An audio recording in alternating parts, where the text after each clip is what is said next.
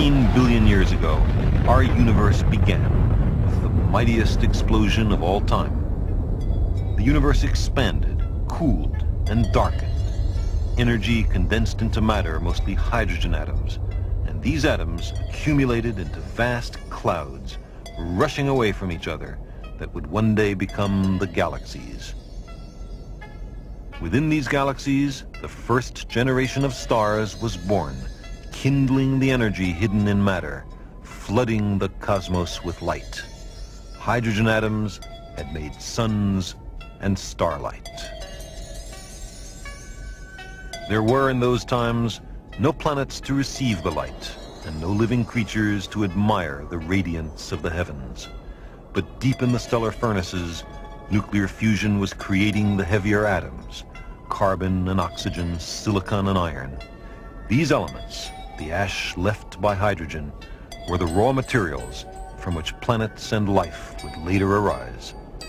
At first, the heavy elements were trapped in the hearts of the stars, but massive stars soon exhausted their fuel and in their death throes returned most of their substance back into space. The interstellar gas became enriched in heavy elements. In the Milky Way galaxy, the matter of the cosmos was recycled into new generations of stars, now rich in heavy atoms, a legacy from their stellar ancestors.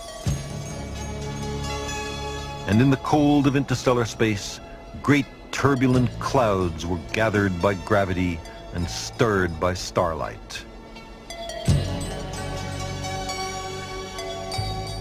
In their depths, the heavy atoms condensed into grains of rocky dust and ice, and complex carbon-based molecules. In accordance with the laws of physics and chemistry, hydrogen atoms had brought forth the stuff of life.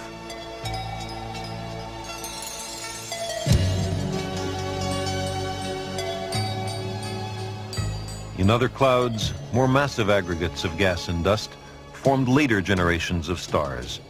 As new stars were formed, tiny condensations of matter accreted near them, inconspicuous motes of rock and metal, ice and gas that would become the planets.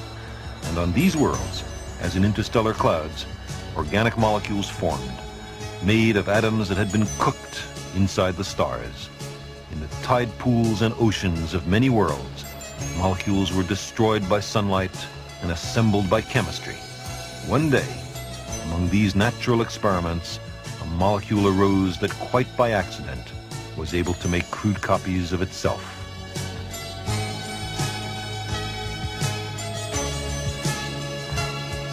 As time passed, self-replication became more accurate.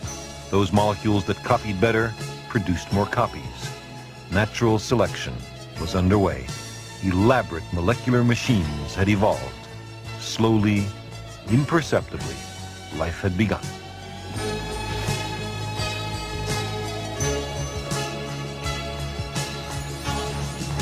Collectives of organic molecules evolved into one-celled organisms.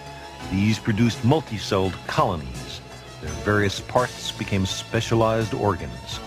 Some colonies attached themselves to the sea floor. Others swam freely.